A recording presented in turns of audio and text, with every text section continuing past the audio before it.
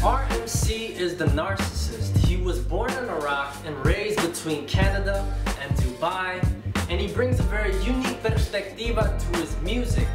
This guy actually got a master's degree in political studies with an emphasis on identity politics and hip hop poetics. Basically, the guy's got a master's degree in hip hop. A lot of his music reflects on 9-11 and how that event still resonates for Arabs in North America, in the Middle East, and across todo el mundo. A lot of his music is political, is passionate, is personal, it's uh, provocative. Throw in some other P words in there. Gotta check them out. Check out the footage below. After that, you can look at the graffiti competition going on in Europe right up here.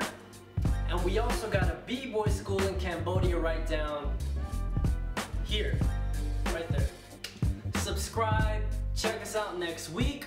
Flaco, wow.